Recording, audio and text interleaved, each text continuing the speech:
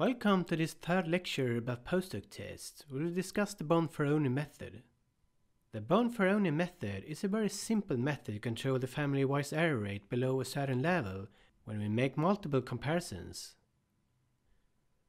Remember from the first lecture about posthoc tests that the family-wise error rate is the probability or risk that we make at least one type 1 error when we make several comparisons where the null hypotheses are true. The family-wise error rate can be calculated by the following formula, where alpha is the significance level and k is the number of independent comparisons we make. For example, if we make 10 independent comparisons where the null hypothesis is true, and where we use a significance level of 5% for each comparison, the risk that we make at least one type 1 error is about 40%. This table shows the risk to commit at least one type 1 error if the null hypothesis is true for all tests. For example, we see that 5 tests result in a 23% risk, whereas 20 tests result in a 64% risk. If you run 100 tests, the risk for committing at least one type 1 error is almost 100%. One common approach to control the family-wise error rate is to reduce the significance level of each test so that the family-wise error rate is kept at a certain level. This is exactly what the Bonferroni method does. The significance level is reduced by dividing the original significance level by the number of comparisons that we make. For example, if we make 10 comparisons or tests, we should divide the original significance level by 10 which results in a family-wise error rate that is approximately equal to 5%. Note that the significance level for each test is now 0.005 instead of 0.05.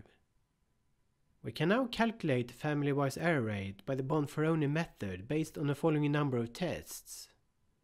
We see that the Bonferroni method keeps the family-wise error rate just below 5%. Let's use the Bonferroni method on the following data where one wants to compare the mean systolic blood pressure between four groups.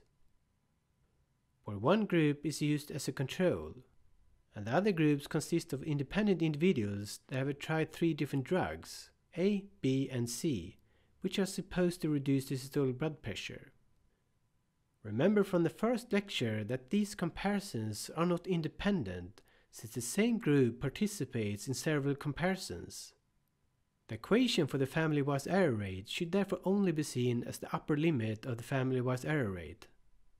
The total number of possible comparisons that can be made between several groups can be calculated by the following formula, where A is the number of groups. We see that when we have four groups, we can make six possible pairwise comparisons. For example, can compare the mean systolic blood pressure in the control group against the ones on drug A, B or C. We can also compare group A versus group B, group A versus group C, and group B versus group C. If we use Fisher's LSD test for each of the six comparisons after a significant ANOVA, we generate the following p-values we see that the three p-values are less than the general significance level of 0.05. By using the Bonferroni method, we will now adjust the significance level by dividing it by 6, since we make 6 comparisons. We see that the new significance level is 0.0083. This is our Bonferroni corrected significance level. Since this p-value is no longer less than the corrected significance level, we can no longer say that there is a significant difference between group B and C if we use the Bonferroni method. By using the Bonferroni method, fewer comparisons will reject the null hypothesis, but we can be sure that the probability that we make at least one type 1 error is always less than 5%. Another way to apply the Bonferroni method is to keep the original significance level of 0.05 and instead multiply the p-values by the number of tests that we make. Since we make 6 tests, we should multiply the p-values by 6. These new p-values are called adjusted p-values. Since a p-value is a value between 0 and 1, adjusted p-values that are greater than 1 are simply set to 1. Therefore, if you see adjusted p-values that are equal to 1, those have been set to 1 because the adjustment resulted in a value that was larger than 1.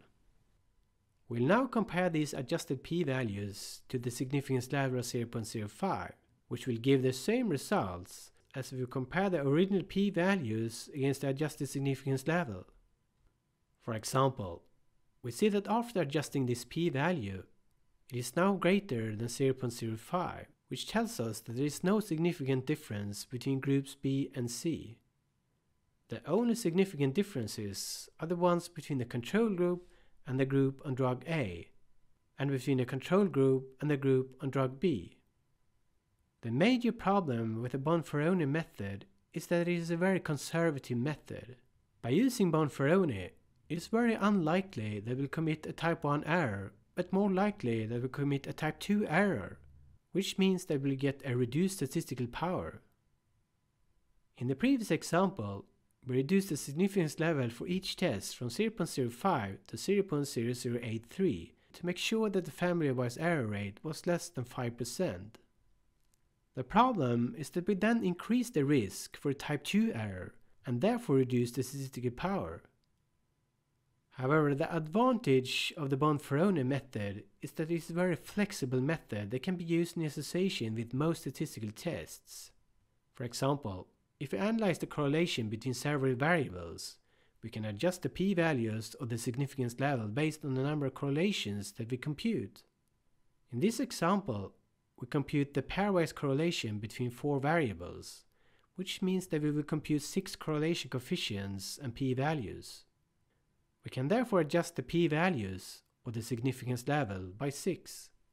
Similarly, if we like to compare the difference in the means of 10 variables between two groups, we can adjust our p-values or the significance level by 10. Note that you only need to adjust for number of comparisons that you actually make. For example, 6 possible pairwise comparisons can be made in this example, since we have 4 groups. However, let's say that we only want to compare the control group versus the treatments A, B and C. We are therefore not interested in comparing A with B, A with C and B with C. Then we make only three comparisons out of six possible. We should then divide the significance level by 3 or multiply the p-values by 3 since we now only make 3 comparisons. When we limit the number of comparisons, we therefore reduce the risk for type 2 error and increase the statistical power compared to if we compare all possible pairs that might not be relevant for our aim of the study. This is why it is important that we have a good idea about which groups that we want to compare before we do the tests, instead of making all possible pairwise comparisons. In the next lecture, we'll discuss Holm's test, which is less conservative compared to the Bonferroni method.